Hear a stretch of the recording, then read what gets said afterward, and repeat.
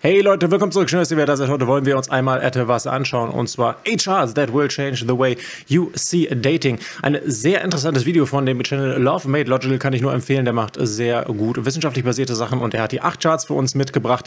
Ähm, das Coole ist, viele dieser Daten äh, basieren auf diesem Buch Dataclysmus, das ich auch selber gelesen habe von Christian Rudder. Und Christian Rudder, das ist einer der Gründer von OkCupid. Wenn dir das nicht bekannt ist, ist eine der ersten Dating-Seiten im Internet, die dann später auch von der Matchgruppe aufgekauft wurden. Die Matchgruppe hat unter anderem Tinder und eigentlich alle anderen Online-Dating-Apps außer Bumble. Bumble ist da relativ eigenständig. Und das ist natürlich sehr interessant, weil das bedeutet, dass wir hier die Daten, tatsächliche Daten, auf denen wir oder äh, von, von Grundlage deren wir eine gute Aussage machen können, haben von einer Dating-App mit ganz, ganz vielen Datenpunkten. Und wenn du nicht verstehst, was es bedeutet, viele Datenpunkte, das bedeutet einfach, dass viele Leute, das Verhalten von vielen Leuten hier beobachtet wurde. Und natürlich ist es wunderbar, das Verhalten von Leuten im Online-Dating-Kontext zu beobachten, weil dort sind die Leute anonym unterwegs. Wenn du zum Beispiel Leute auf der der Straße draußen fragst nach ihren Meinungen, dann wirst du natürlich andere Ergebnisse bekommen, weil Leute dir auch mal Antworten geben werden. Stichwort soziale Erwünschtheit, das ist ein Konzept aus der Psychologie, werden dir auch mal Antworten geben, die einfach sozial erwünscht sind. Sowas wie, okay, man muss ja jetzt das sagen oder das klingt sehr blöd, deswegen sage ich das lieber nicht, sonst stehe ich in einem schlechten Licht da. Das Ganze ist natürlich weniger vorhanden auf Online-Dating-Plattformen, denn da machen Leute einfach, was sie machen wollen, zeigen einfach ihr Verhalten und deswegen ist es ganz wunderbar, wenn man dort Daten herbekommt. Das sagt dann tatsächlich ziemlich viel und weil dieser Betreiber äh, von OkCupid natürlich einen riesen Haufen von Daten zur Verfügung hat, nämlich alle Daten der gesamten App, wissen wir auch, dass was auch immer herauskommt, relativ zuverlässige Ergebnisse sind, denn je mehr Daten du hast, je mehr Datenpunkte du hast, desto zuverlässiger ist die Aussage, die du letztlich darauf treffen kannst. Das ist tatsächlich sehr wissenschaftlich, was wir hier vorlesen haben, oder was heißt sehr wissenschaftlich, extrem wissenschaftlich. Wir können uns hier Verteilungen angucken und das ist sehr, sehr interessant. Aber ohne weiter zu reden, starten wir mal in das Video und das ist auf Englisch, aber wir werden uns hauptsächlich sowieso die Charts angucken, die ihr hier präsentiert, weil das Ganze sehr interessant ist. Fakten, die du verstehen musst, nachdem du das Dating nie wieder gleich siehst. Standard bell curve. This is a chart showing how men perceive women's attractiveness. Looks pretty normal. Ja, wir sehen hier also eine Kurve, wie, Fra wie Männer auf diesen Apps die Attraktivität von Frauen bewerten. Und wir sehen hier ähm, Percent of People und wir sehen hier die Perceived Attractiveness, also die wahrgenommene ähm, Attraktivität von 1 bis 5. Und was wir hier sehen, das hat er auch gerade gesagt, ist eine relativ normale Verteilung. Normalverteilung sieht immer so aus, dass sie in der Mitte den höchsten Peak hat. Wenn du jetzt guckst, wie es Intelligenz verteilt, Intelligenz ist auch normal verteilt, dann wirst du hier in der Mitte den größten Peak haben und äh, hier zu den Seiten flacht es ein bisschen ab. Man sieht natürlich, dass hier schon eine Überlappung auf der linken Seite ist, was bedeutet, dass mehr Männer hier Frauen etwas unattraktiver als äh, die, die Mitte eingeschätzt haben. Und man sieht hier, äh, dass eine Frau als eine 4 oder eine 5 eingeschätzt wurde von äh, Männern, ist doch sehr unwahrscheinlich. Und, und wieder hier, wir haben, wir haben große Datenpunkte, das ist äh, zum Beispiel aus diesem Buch Dataclysmus des OkCupid-Gründers, viele Datenpunkte, anonyme Daten, wunderbar. So die Wahrnehmung von Männern gegenüber Frauen, was die, ähm, die Anziehung angeht, äh, auf Online-Dating-Apps, ja. Men tend to perceive women's attractiveness on a standard bell curve. Ja, da ist die Bell Curve, die Normalverteilungskurve. The average is 2.83. Ja, also ein bisschen, ein bisschen nach links gerissen, so wie ich es gerade gerade erwähnt habe. Ah, natürlich wäre sonst der Durchschnitt in einer kompletten äh, Normalverteilung eine 3. Ne? With the most common rating being 3. 8% are above the 4 and 17% below a 2. Ja. All pretty normal. Normal. And here is how women perceive men. Das ist natürlich sehr interessant hier an der Stelle. Ähm, also ich gar nicht, das ist jetzt gar keine Wertungssache. Ich finde einfach nur, dass das Daten sind, die uns sehr, sehr viel sagen und die sehr interessant sind. Also ne, wir sehen hier, das ist unsere Kurve, wie Männer, äh, wie Männer Frauen wahrnehmen und hier sehen wir, wie Frauen Männer wahrnehmen. Ne? Wir werden das ja gleich sehen, er wird uns gleich zeigen, wo, der, wo die Mitte ungefähr liegt, aber die müsste natürlich hier ungefähr irgendwo liegen. Ähm, das bedeutet einfach, die Aussage ist relativ klar, dass die meisten Frauen, wenn sie jetzt die meisten Männer auf Dating-Plattformen sich angucken, äh, die als unterdurchschnittlich attraktiv wahrnehmen. Es ist also sehr schwer für dich als Mann hier auf einer Online-Dating-Plattform eine Wahrnehmung zu erhalten, die über einer 3 ist. Sehr, sehr schwierig. Ne? Und das sagt uns wieder, zeigt uns wieder, dass Online-Dating vielleicht einfach nicht der beste Weg ist, um, äh, wenn du als Mann eine Frau kennenlernen äh, willst, um äh, da dran zu gehen. Da gibt es natürlich ganz viele verschiedene Gründe für, aber das ist natürlich ein schönes Beispiel. Wir werden sicherlich über das Video hier und da noch ein paar andere Punkte sehen. Sehr, sehr interessant. Yeah, doesn't look so good for men. Taking this at face value, only one in six men are above average in an absolute sense. Ja. And if we translate this plot to something more familiar, like IQ, then we have a world where women think 58% of men are brain damaged. Ja, also er sagt hier, wenn man es auf, auf Intelligenzquotient übertragen würde, dann, weil in dem gleichen Bereich, äh, die Leute, die hier liegen würden, in dem gleichen Bereich bei IQ wären, also Leute, die unter 90 liegen vom IQ her, sind, äh, haben gewisse ja, Gehirnschädigungen, sagt er in diesem Fall. Ähm, zum Beispiel kannst du als, ich korrigiere mich, wenn ich falsch liege, aber ich glaube mit 85er, mit 85er IQ kannst du nicht mehr bei McDonalds arbeiten, weil die Abläufe ähm, zu komplex sind zum Beispiel. Ne? Also das ist wirklich, ähm, wenn jemand eine IQ hat, der hier in dieser, in dieser Range liegen würde. Ne? Dieses Mal ist es IQ, ne? wir sehen hier, das ist IQ. Dann ähm, ja, ist das ein bisschen schwierig für die Person am Arbeitsmarkt. When we dive a little deeper though, it becomes clear this isn't a men are too ugly to date thing. It's a men are too ugly to hook up with thing. This is OkCupid. Genau, hier erklärt er nochmal ein bisschen, was ich auch gerade erklärt habe, ähm, dass, dass der Gründer der OkCupid hier ist und dass OkCupid eben Teil der Match-Gruppe ist. Match.com and Tinder give us a lot of ähm, und hier auch sehr interessant haben wir zwei weitere Verteilungen, auch wieder von den Online-Dating-Plattformen. Das heißt auch wieder sehr, sehr tolle und zuverlässige Daten. Ja, ich seht hier, ihr seht das hier ganz auf der rechten Seite nicht wegen meinem Kopf, ist aber nicht schlimm. Hier sehen wir auf Match.com und Tinder. Tinder eher ähm, eine eher Casual-Dating-Plattform. Und hier haben wir die gleiche Verteilung, die wir gerade gesehen haben, was die, was die Attraktivität angeht. Aber wir sehen hier auf Match.com, was wahrscheinlich, so genau kenne ich die Plattform nicht, das ist eher eine amerikanische, eher eine Plattform ist, wo Frauen wohl auch hinkommen, um irgendwie ja, Leute für Langzeitbeziehungen zu suchen. Und hier sehen wir, die Verteilung ist ein bisschen anders. Und das ist das, äh, was gerade der Kollege hier gesagt hat, dass es wahrscheinlich auch nur für kurzzeitige ähm, Geschichten gilt. Diese Daten, die wir gerade gesehen haben hier ähm, und Match.com als Gegenbeispiel, äh, wo Frauen tatsächlich Männer relativ normal einschätzen, beziehungsweise hier ähm, sieht es fast so aus, als hätten wir die ziemlich genau gleiche Einschätzung, die wir bei Männern für Frauen hatten, die wir da auf der ersten Chart gesehen haben. Sehr interessant. Na, was uns das hier also sagt, zumindest ist die Aussage des Video-Producers hier, äh, wenn die Aussagen soweit hinkommen, dass wir sagen, okay, Tinder ist eher so eine Casual-Dating-Plattform, genau wie OkCupid und Match ist eher eine für für langfristigere Geschichten, dann würde das natürlich bedeuten, dass Frauen Männer für kurzfristigere Geschichten ähm, in der Attraktivität deutlich, ja, ich sag mal, ähm, deutlich ähm, ja, enger bewerten. Das wäre das, was du hieraus ziehen kannst. Ja, und wir springen einfach mal rüber zur zweiten Chart. Auch eine sehr interessante, das ist eine sehr interessante Studie, die er auch hier unten verlinkt hat. Das ist tatsächlich nicht aus diesem Dataklysmus-Buch. Deswegen muss man hier an der Stelle, und ich, ähm, das war, ich meine, das ist die Speed Dating-Studie, wenn ich mich nicht irre. Wir öffnen das hier einfach mal. Ähm, genau, das ist diese Speed-Dating-Studie. Da ist es natürlich interessant und das werden wir uns gleich mal kurz angucken. Aber schauen wir uns erstmal an, worum es in der zweiten Grafik geht. I'd like to bring forward a study from 2016, looking at what women look for in a speed dating context. The study started by giving women a list of six traits and asking them to assign points to each trait based on how important it was to them. okay, ne, die Frauen sollten hier, so wie die Männer, die haben das auch gemacht, die sollten hier diese sechs Kategorien bewerten und sagen, also oben ist Physical ähm, Attractiveness, also ähm, wie physisch attraktiv jemand ist und sollten eben sagen, wie wichtig wichtig das Ganze im Dating-Kontext ist. Ambitionen, Intelligenz, ähm, in gleiche Interessen, ähm, Sincerity, sowas wie Ehrlichkeit ähm, und dann halt Spaß. Hm. Average distribution of points the women provided looked like this. All attributes given near even value. After completing the dates, the women were asked to assign the points to the men at the dating event. Then, which men they were going to see again.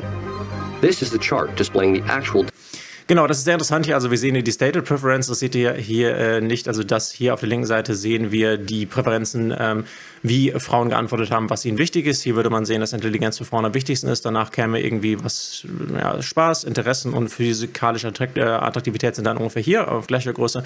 Und hier drüben sehen wir, was wirklich äh, oder wie die Frauen dann wirklich ausgewählt haben. Ne, das ist das gleiche, was ich eben erzählt habe. Das ist das gleiche, das ist das Schöne, wenn man Daten hat aus einer Online-Dating-App. Hier kommen die Daten von einem von einer Speed-Dating-Studie. Das gucken wir uns gleich mal an, ähm, weil dann hast du genau das. Ne? Dann siehst du, was die Leute wirklich machen und äh, guckst dir nicht an, was die Leute sagen, weil was die Leute sagen ist nicht, was die die Leute machen, weil hier haben wir wieder das Konzept der sozialen Erwünschtheit. Hier wird natürlich anders geantwortet, als, als es eigentlich ist. Es kann auch sein, dass die Leute, und das ist, ne, das will ich nur kurz äh, hier an der Stelle sagen, das ist kein Frauending, das ist auch ein Männerding, nur ähm, haben wir, sehen wir halt die Charts der Frauen. Ähm, das haben die Frauen halt gesagt und das haben die Frauen dann gemacht hier auf der rechten Seite und das ist ganz normal für Menschen. Manchmal sind wir uns nicht bewusst, warum wir etwas oder wie wir etwas auswählen. Manchmal haben wir aber auch dieses Phänomen der sozialen Erwünschtheit, was ich bereits erwähnt habe, wo wir einfach nicht ähm, ja, schlecht darstellen wollen und deswegen andere Antworten geben. Ne? Wir sehen hier zum Beispiel Physical Attractiveness, äh, physische Aktivität hier nicht, nicht der größte Faktor, der ist eigentlich Intelligenz. Witzigerweise ist Intelligenz hierbei, was man wirklich auswählt, ziemlich klein. Das Einzige, was kleiner ist, ist Ehrlichkeit. Hier, das seht ihr nicht, weil ich das verdecke, ist Spaß. Ähm, Spaß ist ungefähr so groß, wie es hier ist, aber wir sehen die physikalische ähm, Attractiveness, also wie gut man aussieht, ist hier der größte Punkt. Also das haben die Frauen am, am wichtigsten genommen bei der eigentlichen Auswahl. Dazu will ich aber einmal sagen, äh, so gut wie die Daten sind, die wir hier bei manchen Charts sehen, zum Beispiel die hier, weil die wirklich aus einem riesen Pool an Daten von einer Online-Dating-App kommen, sehr zuverlässige Daten. Natürlich kann man auch da nur, wenn man ganz fair ist, Aussagen fürs Online-Dating ziehen. Ne? Du kannst ja nicht Daten aus einer Online-Dating-App holen und dann sagen, oh, das ist genauso im echten Leben. Natürlich können wir davon ausgehen, dass es sich ähnlich verhält, aber das ist eben nicht die Schlussfolgerung, die wir ziehen können. Ähm, das ist die Studie, aus der das kommt, was wir uns hier gerade oder was wir hier jetzt gerade sehen. Und äh, das Interessante für mich, ich habe jetzt keinen vollen Zugriff auf die Studie, weil ich nicht über meinen Uni-Zugang gerade eingeloggt bin. Was immer interessant ist bei Studien, und da muss man äh, tatsächlich gucken, also wenn jemand dir irgendwie ein Video zeigt und der sagt, ja, boah, guck dir diese krasse Studie an, dann musst du halt immer gucken, okay, gibt es denn noch mehrere Studien, die das gezeigt haben? Wir wollen jetzt hier keine riesige Analyse machen, aber was man sich auch immer angucken kann, eine der einfachsten Sachen, die auch oft hier verfügbar sind, ist, wie viele Leute wurden denn da getestet? Ähm, leider haben wir es hier bei äh, das Datenset nicht drin. Ähm, Speed Dating Experiment ist von kegel.com kommen. Okay, wir können ja einmal schauen. Äh, das, ist immer, das ist immer ein bisschen schade, dass man dann hier, dass man dann hier, oh, ist das die gleiche Seite oder was? Oh, es ist die gleiche Seite, okay. Und das Datenset haben wir hier, Input, Output. Ähm, ah, man kann hier ein Datenset runterladen. Interessant. Äh, das, äh, ach nee, okay, man muss sich registrieren. Na gut, okay. Aber was ich einfach sagen wollte, ist, dass man, wenn man sich so eine Studie anguckt, wenn man daraus irgendwas ziehen möchte, das kann ich euch nur empfehlen, äh, dass man sich auch anguckt, wie viele Leute denn da untersucht wurden. Ne? Das sage ich ja bei dem Online-Dating-Kram. Das sind sicherlich Daten von hunderttausenden Leuten, sehr zuverlässige Daten. Das hier mag ein bisschen anders aussehen. Wir sehen das hier leider nicht. Wir sehen hier leider nicht ähm, wie viele Leute hier denn eigentlich untersucht wurden. Und das macht das Ganze halt so ein bisschen, ne, mh, hm, ja, es könnten ja auch sein, dass es nur zehn Leute waren und dann sind die Daten halt nicht sehr zuverlässig und nicht sehr, nicht sehr aussagekräftig. Deswegen ist es interessant, um sich das anzugucken, aber ich würde hieraus keine übergreifenden Schlussfolgerungen ziehen, außer man hat A, sehr viele Leute in einer Studie und B, sehr viele Studien, die das Ganze dann, oder das heißt sehr viele, auf jeden Fall einige Studien, die die gleiche Richtung gezeigt haben. Ansonsten ist es eine interessante Entdeckung, aber sicherlich nicht etwas, was man auf den generellen, also was was man auf den Markt übertragen kann, auf den gesamten Dating. Of what was seen as important by the women at the event. Physical attractiveness was by far the most important attribute, with the amount of positive responses and level of physical attractiveness having an astonishingly large correlation coefficient of 0.8 für alle, die jetzt mit Daten nicht vertraut sind, äh, ähm, äh, ein, ein Korrelationskoeffizient von Punkt 8 ist sehr, sehr gut. Das bedeutet einfach, wenn hier eine 1 stände, wenn das 1 wäre, das wäre eine perfekte Korrelation. Das würde bedeuten, dass diese Linie hier noch viel gerader wäre. Und das, das bedeutet halt einfach, ähm, wenn die physikalische Anziehung, also wenn die physikalische, wenn, wenn die, das Aussehen steigt, dann steigt damit gleichzeitig auch die, äh, die positive, also in, hier steht positive Responsrate, also die ähm, Rate, zu der Personen positiv auf die andere Person reagiert haben haben. Ne? Das heißt dann einfach, das würde dann einfach heißen, je besser, umso besser. Und je höher diese Zahl hier vor dem Komma ist, ähm, desto besser ist dieser Zusammenhang. Wenn jetzt zum Beispiel die Zahl hier, die erste Zahl hinter dem Komma, das Ganze geht von 0 bis 1, ja, und wir sehen hier, wir haben 0,8, also 80 Prozent, wenn du auch so möchtest. Wenn wir hier eine sehr geringe Zahl hätten von zum Beispiel, wenn hier eine 1 stände statt eine 8, dann würde das eben bedeuten, dass es da keinen wirklichen Zusammenhang gibt. Das heißt dann, dass wenn die physikalische Anziehung oder die physikalische Aussehen steigt bei einer Person, steigt nicht auch gleichzeitig die ähm, ja, positive ähm, positive Rückmeldorate, könnte man sagen. Ne? Also das bedeutet einfach, je hübscher die Person, desto mehr positives Feedback hat sie bekommen. Und dieser Zusammenhang ist sehr, sehr stark, zumindest in dieser Studie. For comparison, the correlation coefficient between IQ and academic performance is 0.54. Ja, es ist kein, kein wirklich nützlicher Vergleich, aber ähm, die Korrelation zwischen IQ und wie gut man den Tests abschneidet, ist 0,54. Was auch schon eine starke, das ist auch schon eine gute Korrelation. Think about that for a second. For those wondering, online dating shows an even stronger correlation, with the data from OKCupid showing a 0.92 correlation coefficient. Ah, und sehr interessant. Hier haben wir jetzt, ne, das ist auch wieder OkCupid-Data anscheinend. Ähm, das ist natürlich was anderes. Hier haben wir wieder die Online-Dating-Daten und hier haben wir einen noch stärkeren Zusammenhang zwischen der physikalischen Attraktivität und der Antwortrate. Das ist natürlich etwas, was man ganz, ganz wunderbar auf den Apps untersuchen kann, weil die Apps natürlich ganz toll feststellen können. Die haben ja alle Daten. Wenn du die App betreibst, kannst du natürlich sehen, wer am attraktivsten ist, weil du siehst halt, wer die meisten Nachrichten bekommt. Das ist ja ein ganz einfacher Zusammenhang. Offensichtlich sind die Leute, die attraktiver sind für das äh, andere Geschlecht, die, die mehr Nachrichten bekommen oder öfter angeschrieben werden. Und wenn du da das dann, äh, ja, äh, wenn du dann eine Korrelation, das, was wir hier gesehen haben, herstellst, ähm, mit, äh, ne, wie attraktiv sind die Leute und wie viele äh, Rückmeldungen haben sie bekommen, dann sehen wir hier, dass es auf Online-Dating-Plattformen noch extremer ist. Aber das haben wir auch schon so ein bisschen hinten gesehen, wo wir gesehen haben, dass es Aussehen sehr, sehr stark zählt. Ja, sehr interessant hier auch die Daten, aber wie gesagt, das will ich nochmal dazu gesagt, das soll dazu gesagt sein. Ne? Wir haben hier gesehen, der Zusammenhang scheint trotzdem zu bestehen, aber hier haben wir halt ähm, eine einzelne Studie. Aber schauen wir mal auf Chart Nummer 3. Another thing I think most people aren't aware of is the effect of attractiveness is exponential. The 2011 study, What Makes People Click Mate Preferences in Online Dating, looked at various traits to see what makes people attracted to each other. The study separated the 22,000 participants' facial attractiveness into deciles of attractiveness, with the top 10% getting separated into two groups, giving the top 5% their own group. To no one's surprise, the study found attractive people were significantly more likely to receive messages and match requests, but the distribution was eye opening. We see a steady climb in matches and messages as participants get more attractive until we get to the top 5%. Miles mhm. above. Okay, also die Aussage ist halt, dass ähm, äh, ja Attraktivität, ähm, äh, also die, die Attraktivität und wie du wahrgenommen wirst, das entwickelt sich ähm, das entwickelt sich exponentiell. Ne? Nochmal zum Vergleich, nur dass ihr versteht, wo der Unterschied ist. Das hier ist eine, ja, das könnte man linear nennen. Ne? Das ist auch, das ist eine Linie, linear. Ne? Das entwickelt sich, äh, wenn, wenn, also man könnte sich das vorstellen, wenn das perfekt linear wäre, äh, bedeutet, wenn hier ähm, eine 1 stehen würde, ich weiß, es wird ein bisschen statistisch jetzt, aber wenn hier eine 1 stehen würde und es wäre perfekt linear, dann hättest du hier halt eine ziemlich gerade Linie, die nach oben geht. Und das würde dann bedeuten, wenn du hier ein Kästchen hoch gehst, du auch auf der anderen Seite ein Kästchen hoch. Das ist linear. Linear bedeutet, das eine erhöht sich um eine Einheit, das andere erhöht sich um eine Einheit quasi. Und exponentiell ist eben genau das Gegenteil. Exponentiell ist das hier. Äh, also das ist, hier, hier könnte man ja noch argumentieren, das ist fast linear und hier wird es dann exponentiell. Exponentiell bedeutet, äh, je mehr, desto mehr. Das ist der Zinseszinseffekt, wenn du so möchtest. Und wir sehen halt hier, dass die, die am attraktivsten wahrgenommen äh, werden, wurden, ähm, auch die besten Bewertungen bekommen haben. Ja, das heißt, wenn du in, der, in, den oberen Kategorien bist, dann ist das Ganze noch viel hilfreicher für dich.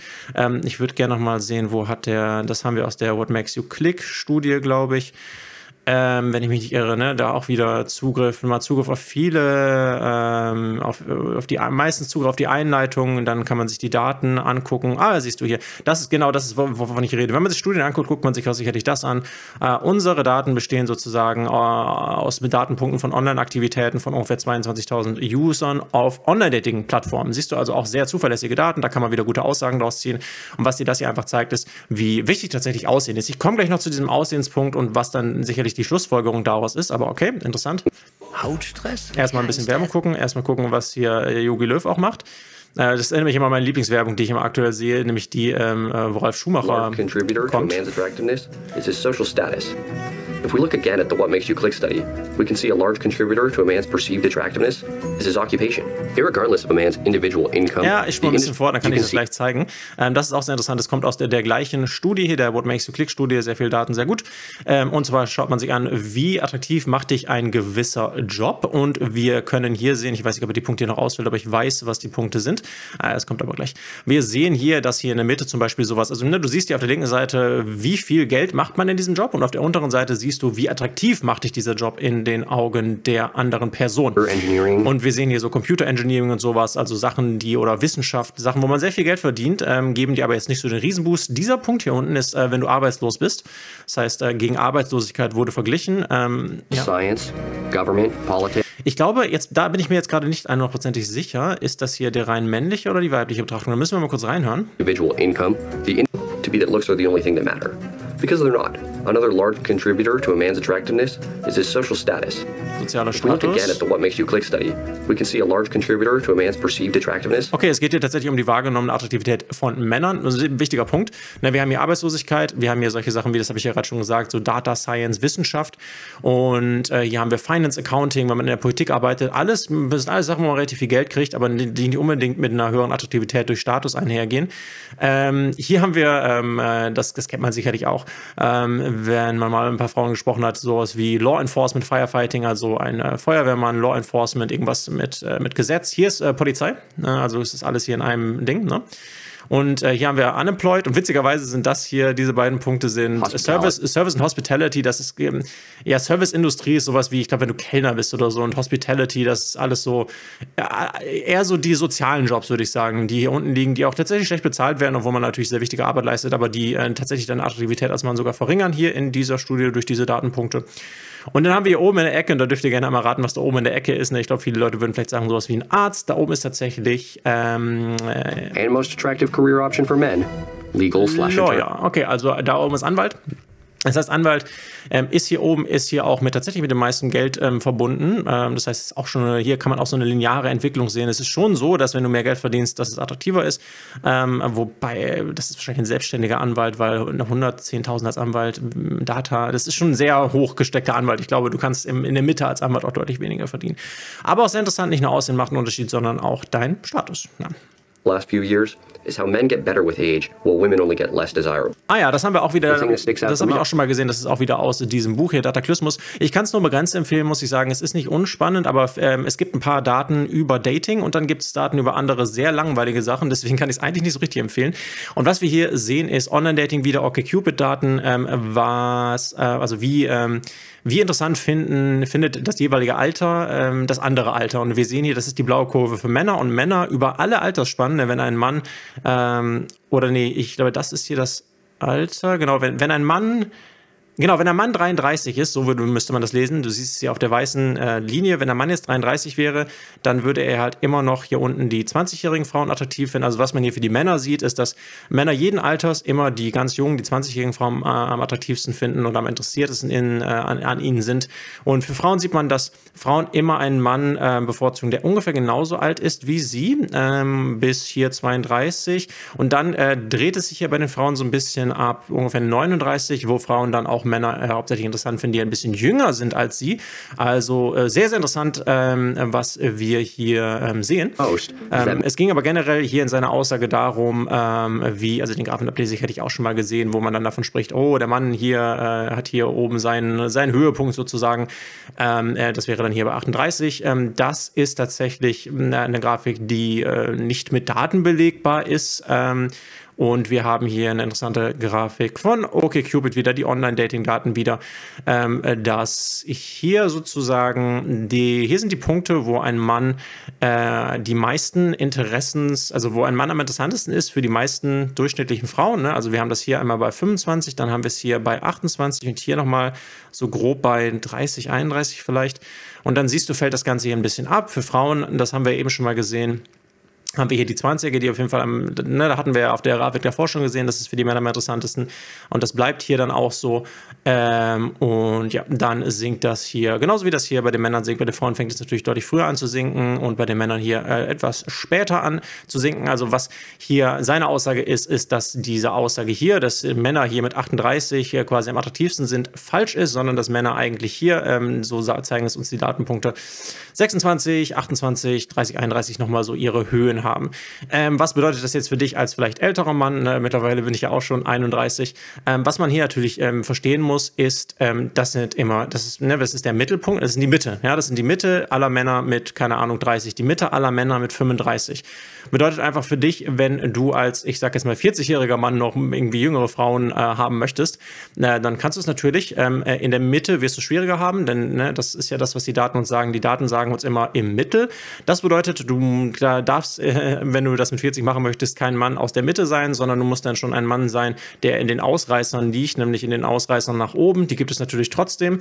Ähm, na, das ist wie, wenn wir uns jetzt mal Daten zum Rauchen angucken. Rauchen ist schädlich, aber es gibt auch die Ausrei äh, Ausreißer, die sehr viel rauchen und denen es gar nicht schadet. In diesem Fall musst du ein, ein 40-jähriger Ausreißer sein. Das heißt, du solltest dich äh, darum kümmern, dass du immer noch sehr gut aussiehst. Du solltest dich um dein Aussehen kümmern. Wir haben gesehen, wie wichtig das ist. Du solltest dich um deinen Status kümmern.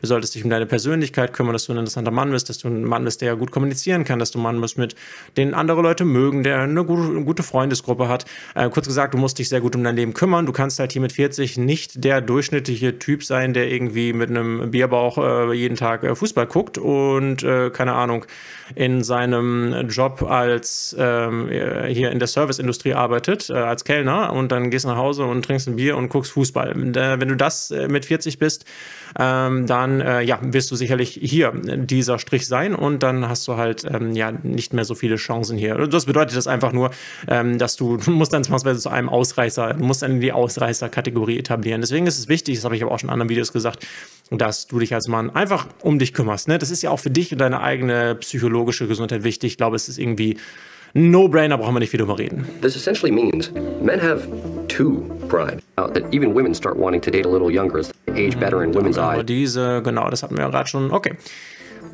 Now, there's one more thing in the What Makes You Click study I want to show you. When reading through Ja, wir schauen uns nochmal What Makes You, What Makes You Click an. Wir schauen also uns nochmal diese Studie hier an. Ne? I found this. The researchers concluded that both men and women's height preferences depend on their own height. Basically, being shorter than a woman will on average make you be seen as significantly less attractive than a man of the same height as her, and in a whole nother category than men taller than her. I don't think this is too surprising, but here's something I think will be.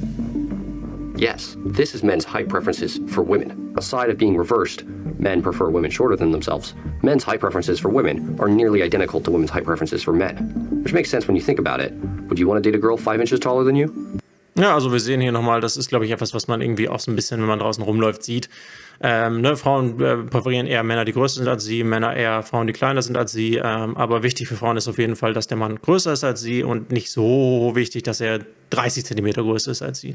Ne, das heißt, für Leute, ähm, wenn es ums Thema Größe geht, ähm, letztlich ist Größe ja so ein nicht veränderbarer Faktor. Von daher, ähm, das sind da Daten, die kann man sich angucken und dann kann man sie eigentlich links liegen lassen, weil die Frage, die du dir immer am Ende von solchen, von solchen, äh, ich, äh, von solchen Daten stellen musst, ist, und was bedeutet das jetzt für mich praktisch in meinem Leben? Ne? Wenn du jetzt zum Beispiel Daten zum Thema Rauchen anguckst und du siehst, da Rauchen ist sehr schädlich für mich, dann musst du halt danach gucken, okay, was bedeutet das jetzt für mich in meinem Leben? Was ist die Handlung, die ich daraus ziehen möchte? Höre ich jetzt auf zu rauchen? Fange ich an? Was auch immer. Und die Daten, was die Größe angeht, denke ich, kann man fast links liegen lassen, weil du bist halt so groß, wie du bist. Was willst du machen? Ne?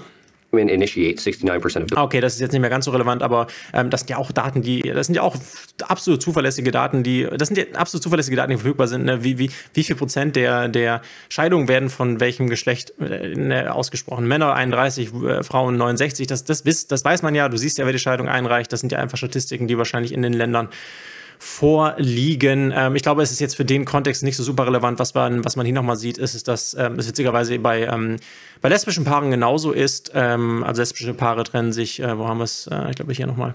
Lesbische Paare trennen sich genauso häufig wie Frauen-Männer-Paare und männliche Paare, also schwule Paare, trennen sich genauso häufig wie Männer eine Scheidung einreichen.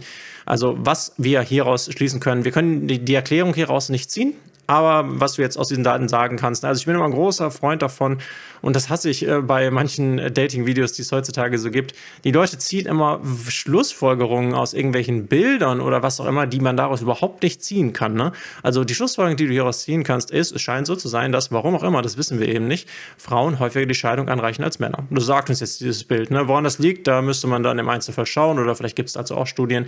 Das sei jetzt hier mal dahingestellt. Aber ja, sehr interessant auf jeden Fall. Also ich bin immer ein großer Freund davon, sich Daten anzugucken und aus Daten so ein bisschen Rückschlüsse auf sein eigenes Leben zu ziehen. Wie gesagt, das machen wir ja auch in großen Stile bei solchen Fragen, wie sollte man rauchen? Ist Rauchen gesund? Das sollte man bei ernährungstechnischen Fragen machen. Ne? Welche Lebensmittel sind gesund? Das kommt, das ist ja, wissen wir ja auch alles von Studien. Und Studien und Wissenschaft sind sicherlich nicht immer perfekt. Da gibt es viele Problempunkte, aber es ist meiner Meinung nach die, die beste Annäherung an die Wahrheit, die wir so haben, ne? der wir uns so bedienen können. Das ist ja das Tolle daran. Und ähm, genau, ich habe gerade schon zum Thema Größe gesagt, was dann so ein bisschen das ist, was man daraus ziehen sollte. Du kannst deine Größe nicht ändern, deswegen kannst du es auch so weit vergessen. Aber auch hier muss man sich natürlich fragen, und, und das möchte ich mit dir, möchte ich mit dir an dieser Stelle auch teilen. Ich, ich, ich bin ein großer Fan, also natürlich, ne, ich helfe dir darin, ähm, irgendwie Frauen. Also was, was man erstmal daraus ziehen sollte, ist sicherlich, dass Online-Dating einfach nicht besonders, besonders erfolgreich und nicht besonders sinnvoll für die große Masse der Männer ist. Das heißt, wenn du Frauen kennenlernen willst und nicht weißt, wie du das machen sollst und Online-Dating für dich nicht funktioniert und du da Unterstützung brauchst, dann kannst du dich gerne an mich wenden. Äh, in der Beschreibung findest du eine E-Mail-Adresse, da kannst du mir gerne mal eine Situationsbeschreibung deiner aktuellen Situation im Frauenthema schicken und deine Telefonnummer, dann können wir, oder dann werde ich mich bei mir, äh, bei dir melden und wir werden ein ähm, ja, kostenloses und unverbindliches Gespräch ausmachen, wo wir einmal gucken, was ist deine Situation, wie kann ich dir helfen und dann schauen wir mal, ob wir beide zusammenarbeiten wollen. Ähm, denn die Lösung ist natürlich, dass du ähm, Frauen auf traditionellere Weise kennenlernst, ob das jetzt auf der Straße ist, wenn dir eine Frau gefällt, dass du die ansprichst oder im Freundeskreis oder in irgendwelchen Interessensgruppen, wo du dann beim Tennis spielen, was auch immer. Ähm, du wirst auf jeden Fall Fähigkeiten aus dem echten Leben brauchen, du wirst richtige Kommunikationsfähigkeiten brauchen, so wie es eben früher war. Denn wie du jetzt hier gesehen hast, an vielen, vielen Charts wird dir das nicht viel helfen, im Online-Dating unterwegs zu sein, gerade weil Aussehen hier stark, stark überbewertet wird verliert. Das ist natürlich im echten Leben ganz anders. Da kommen natürlich ganz andere Dinge zum Tragen. Ne? Du hast eine Ausstrahlung, wie du sprichst, wie du dich bewegst, was du sagst. Das ist alles irrelevant auf Online-Dating-Plattformen, denn man sieht erstmal die Fotos und da ist der erste große Filter, durch den du schon teilweise gar nicht durchkommst. Das haben wir gesehen und das ist sicherlich eine der Conclusions, der Schlussfolgerungen, die man daraus ziehen kann. Wie gesagt, wenn es um das Thema Größe geht, kann man das Ganze sicherlich links liegen lassen, ähm, weil du bist halt so groß, wie du bist. Ähm, da muss man sich immer die Frage stellen, will ich, will ich daten oder will ich mich diesem Thema widmen oder nicht? Vielleicht, vielleicht sagst du ja auch, okay, irgendwie passt das alles nicht und ich glaube, ich kann da nicht erfolgreich sein und dann kannst du dich auch dafür entscheiden zu sagen, okay, ich steige aus diesem ganzen Datingmarkt aus. Musst du ja auch nicht, das ist ja deine Entscheidung. Sei nur dir der Konsequenzen bewusst, dann bist du eben aus dem Datingmarkt ausgestiegen. Ne? Also ich bin ein großer Freund davon, ähm, ja, kluge Entscheidungen oder, oder selbstbestimmte Entscheidungen zu treffen. Ich bin aber auch ein großer Freund davon, sich bewusst zu sein, was das als Konsequenz bedeutet. Ähm, genau, ne, das sehen wir hier also wir sehen Aussehen ist sehr wichtig, wir sehen Status ist sehr wichtig. Auch das sind sicherlich keine großen Überraschungen, aber es ist natürlich immer cool, das auch durch Daten belegt zu haben. Das heißt, kümmere dich als Mann um dein Leben, ist auch keine große Neuigkeit. Kümmere dich darum, geh zum Sport, schau, dass du dich gut kleidest, schau, dass du äh, deine Karriere, ob du jetzt selbstständig sein möchtest, ob du jetzt irgendwie studierst, ob du eine Ausbildung machst, was auch immer es ist, dass du das vorantreibst, dass du dein Leben gut in den Griff bekommst, sicherlich keine großen Neuigkeiten. Auch bei dieser Sache werden wir in gemeinsamen Coachings, wenn ich dich da begleite, natürlich wenn wir uns diese Aspekte auch angucken. Aber jetzt bin ich auch zu deiner Meinung gespannt. Schreib mir mal in die Kommentare, was du dazu denkst, äh, zu diesen ganzen Daten, die wir uns hier angeguckt haben. Was sind vielleicht für dich die Schlussfolgerungen daraus? Cool, dass du hier warst und wir sehen uns im nächsten Video.